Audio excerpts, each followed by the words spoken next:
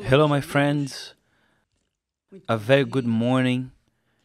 And may this be a magnificent Saturday in your life. And God, through the Holy Spirit, may come to conduct towards a life according to His will, which is His govern in your life. When we seek the kingdom of God, as we said yesterday, in reality, we are seeking God's govern, which means to do the will of our Lord, our King. And this is to seek the kingdom of God first. And it's important for you to have this conscience always, every day, every hour, every minute, every second. Is it the will of God for me to do this? Is it God's will? My Father, is it your will that I'll go towards this direction? What do you want from me? And the Holy Spirit, for sure, will guide you. And obviously, you will be seeking the kingdom of God. You will be doing the will of God. And obviously, if by any chance you are not yet baptized in the Holy Spirit, you can be sure that you will be. Why? Because God is faithful and He will not let you down. Now, I would like to, you know, tonight I, I woke up with a song a hymn that we used to sing many years ago when I was still a teenager in the beginning of my journey with God. I don't know if you've heard that song. In life, we have so much pain. Not everything is a blue sky. You who started he started in the faith years back you remember this song really well. So the song made me remember what the apostle paul said when he said the following for this is commendable. For this is commendable. If because of conscience toward God, conscience toward God, not toward men, not toward people, because of conscience toward God, one endures grief, suffering wrongfully. And it's what's been happening, isn't it? For example, when we show the testimonies of people talking about fake news and people who hated me, and I didn't even know that, right? But God brought them to to us, not only for them to be saved, but also for us to know how painful it is to endure grief because of righteousness and faith in the Lord Jesus. So here, Peter is saying the following It's commendable that somebody, perhaps you who are watching me right now, because of your conscience toward God, you have to keep your conscience clean, pure, honest, sincere, and perfectly sane.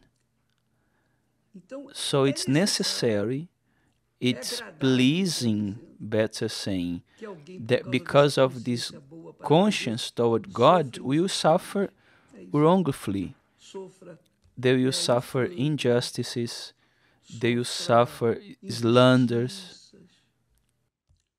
they suffer hate, persecution, whether in the house or at work, or from the husband, the wife, or the parents. they suffer, suffer, and suffer wrongfully. He said, This is commendable. Peter says that this is commendable. Now you can imagine that when a person suffers wrongfully, immediately their flesh, their human flesh, wants to react or pay back, seek revenge, isn't it? But God says there that to Him vengeance belongs to. So vengeance belongs exclusively to God. Do you want to walk with God? Do you want to submit to the kingdom of God, to the govern of God, to the authority of God? Do you want to be in the kingdom of God? Then, my dear friend, be ready, be ready, my friend, to receive, let's say, to suffer wrongfully as he says here, suffering wrongfully. Wrongfully. It's commendable. And he says more. Pay attention. For what credit is it if when you are beaten for your for your faults which means what glory is there if you choose evil and then you reap what is evil. Isn't it? It's right, it's fair. You did wrong, you're gonna reap what is wrong. You sowed potatoes, you're gonna reap potatoes, no doubt. You sowed thorns, you're going to reap thorns. But when you do good, pay attention, but when you do good and suffer, if you take it patiently, this is commendable before God. God is glorified when we are persecuted, we go through injustices, we are defamed, we are arrested, when we are slandered, when we are buffeted, when we are slandered, and so on. Everything that the unbelievers do against those who truly are living in the kingdom of God. It's good. It's good for those who are living in the kingdom of God. Do you know why? Because when we do what is good and receive evil in return, and we continue to do good, then God is glorified in us. God is sanctified in our lives. Because he says there that this is what Jesus did. Jesus was buffeted. Actually, he was arrested wrongfully, he was betrayed, he was placed or taken to court, accused him wrongfully. They brought false witnesses against him he suffered and suffered and suffered. And afterwards he was buffeted, they spat on his face, they beat him, but they beat with whips that had blades on it, right on the edge, in a way that it would cut his flesh.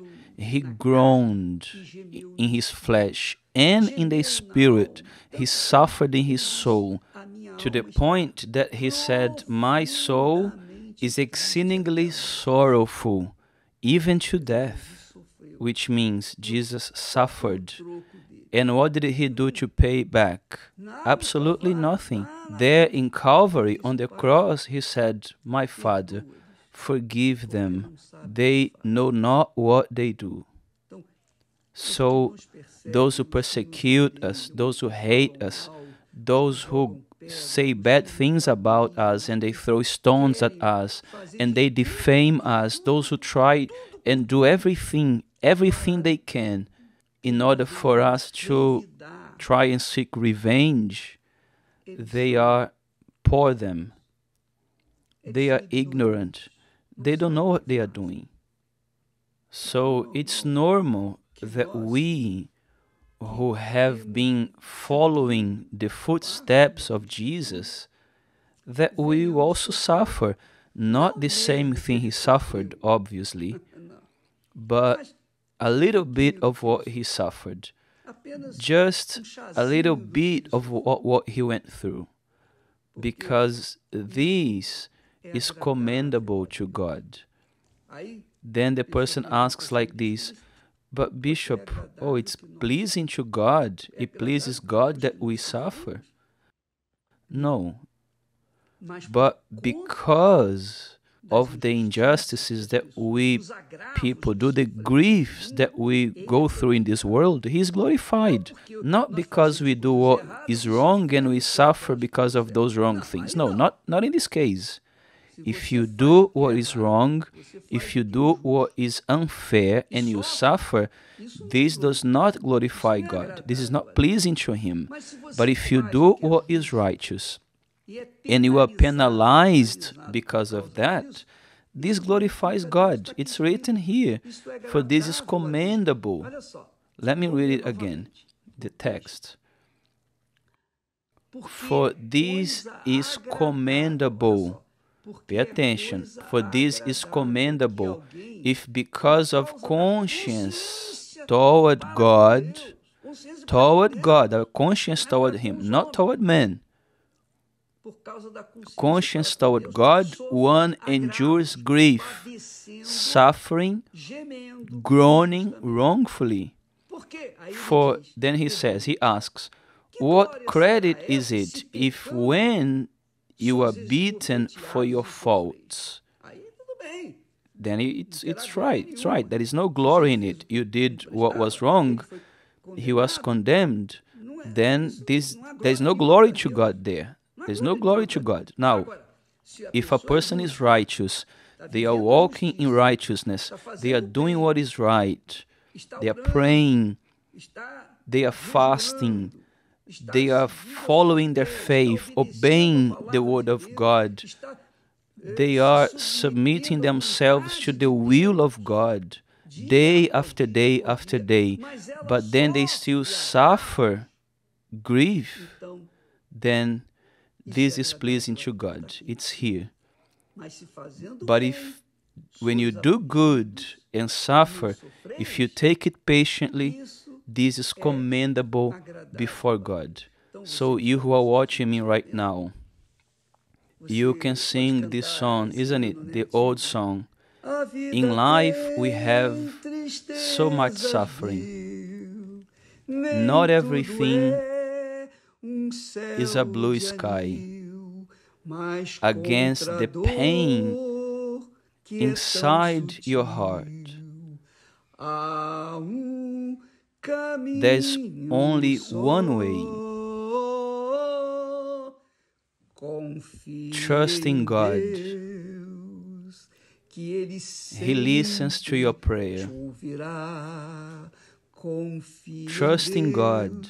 He will never let you down. Trust in God. The dark clouds shall go away. Oh, never doubt, but trust in God. That is the faith that makes us conquer the kingdom of heaven. My dear friend, believe in it. Faith is not only to conquer material things, to conquer personal things.